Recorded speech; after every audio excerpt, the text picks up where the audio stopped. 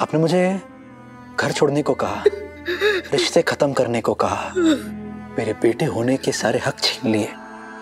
सब चुपचाप मैं सुनता रहा, क्योंकि आपको ऐसा लगता है कि मैंने आपका भरोसा तोड़ा है, नाम डुबाया है। लेकिन एक बार मेरी आँखों में देखकर कहिए ना कि क्या आपका बेटा ऐसा कर सकता है? किसी को धोखा दे सकता है?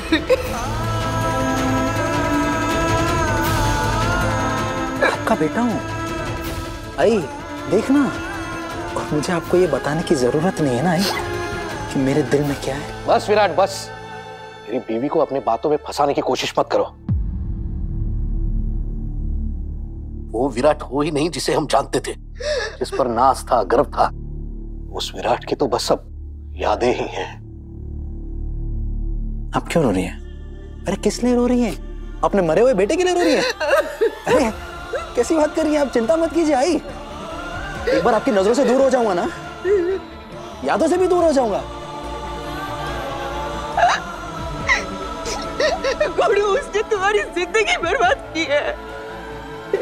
दूसरे का घर तोड़ के कभी आज तक कोई अपना घर नहीं बना पाया है। एक बात हमेशा कान खोल के सुन लेना बेटा। उस औरत ने तुम्हारी ज़िंदगी बर्बाद की है। वो तुम्हारी नौकरी भी खा जाएगी और एक दिन ऐसे भी आएगा कि जब तुम्हारे पास कोने के लिए कुछ नहीं बचेगा और तब तुम्हारी पत्नी सही की याद आएगी। और तब तुम्हें सही और उस औरत में जो फ़र्क है, वो समझ में आएगा। बहुत रोगे, बहुत बहुत बहुत पछताओगे तुम। बहुत हो गया तमाशा। हर एक ने विराट को घर से बाहर जाने का फरमान सुना दिया। है लेकिन शायद सब भूल गए हैं कि इस घर में हर फैसला सिर्फ़ मैं ही करती हूँ। भवानी नागेश चौहान इस मामले में भी फैसला मैं करूँगी और कोई सवाल नहीं उठाएगा। अब बचाई क्या है वेनी? बस। इतनी देर तक सब बात कर रहे थे ना? अब मैं बोलूँगी और सब सुनेंगे।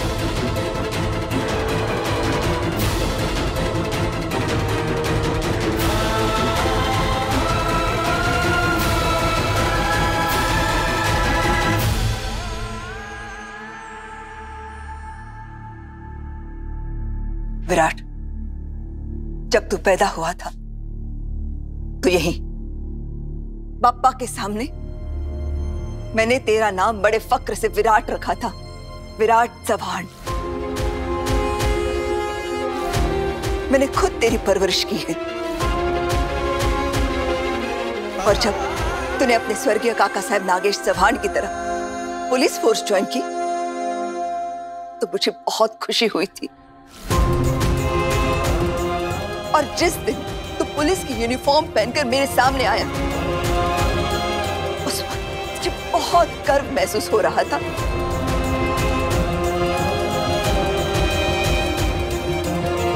बेटा, मैंने तुझे जन्म नहीं दिया है, लेकिन हमेशा अपने बेटे की तरह पाला है। मैंने तुझे अपना बेटा माना है। और तूने भी हमेशा अपनी आई से बढ़कर मुझे दर्जा दिया है। विराट, तुझे याद है जब तू सातवीं क्लास में था और तुझे पहला अवार्ड मिला था? तब तू घर पर आकर सबसे पहले तूने ये बात मुझे बताई थी। और जब तूने पुलिस की एग्ज़ाम पास की थी, तब भी बेटा, तेरी हर हार, हर जीत मेरी परवरिश को दर्शाती है। आज तक तूने अपनी ज़िंदगी की हर बात मुझे बताई। अगर नहीं बताया तो वो तेरा उस जंगली मुर्गी के साथ शादी करना।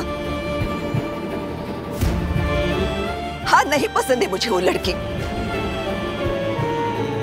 लेकिन फिर भी, ये बात तो सच है ना, कि उसने इस परिवार के लिए बहुत कुछ किया। मैं इस बात को नहीं छुटला सकती जो उसने मेरी बेटी दिव्यानी के लिए किया। उसने सम्राट को वापस इस घर में लाने के लिए जो कुछ भी किया। हम चाहकर भी इस बात को भुला नहीं सकते हैं, विराट। विराट, शादी एक बंधन है। तू अपनी मर्ज़ी से उस लड़के को इस घर में लेकर आया और हमने भी उसे अपना लिया।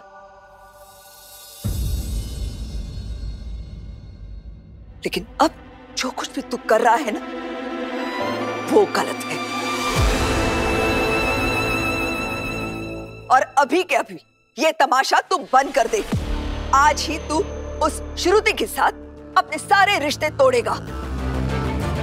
और सही को वापस इस घर में लेकर आएगा।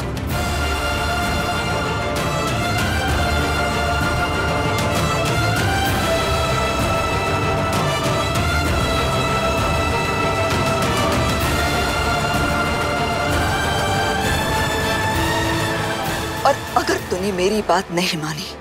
तो मैं सोचूँगी कि बचपन से लेकर आज तक मैंने जो कुछ भी किया है तेरे लिए, उसमें मैं असफल थी। आज तक तूने मुझे कभी अपनी माँ माना ही नहीं।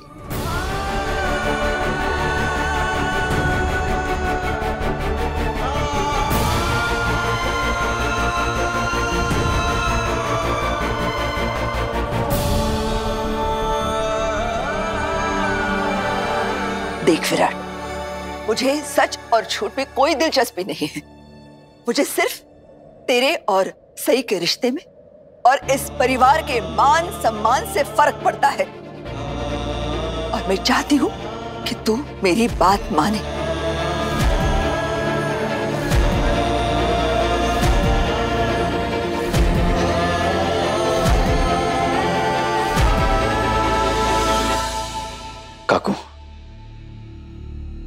सही अपनी मर्ज़ी से घर छोड़कर गई है। और मैंने उसे रोकने की बहुत कोशिश की, लेकिन सब बेकार।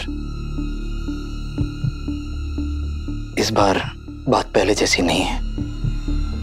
वो मेरे या किसी के भी बोलने से या करने से, कुछ भी करने से वापस नहीं लौटने वाली है।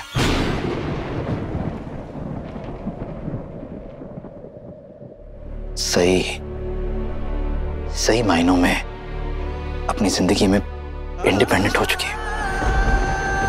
वो अपने फैसले लेने के काबिल है। वो अपने हिसाब से अपनी ज़िंदगी जी सकती है।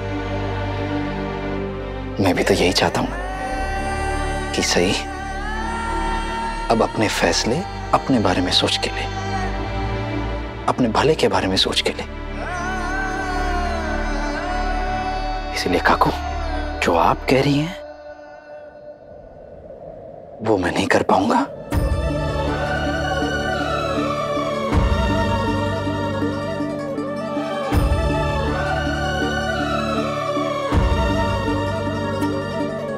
काकू मैं अपनी बातों में फंसाकर सही को मजबूर करके इस घर में वापस नहीं ला सकता।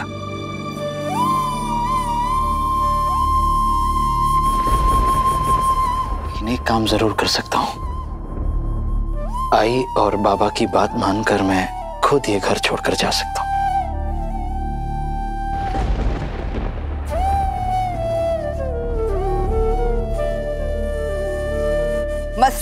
मस्त सच में विराट, तू बहुत बड़ा हो गया है रे।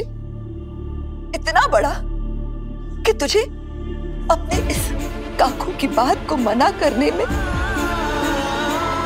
जरा भी हिचक नहीं हो रही है।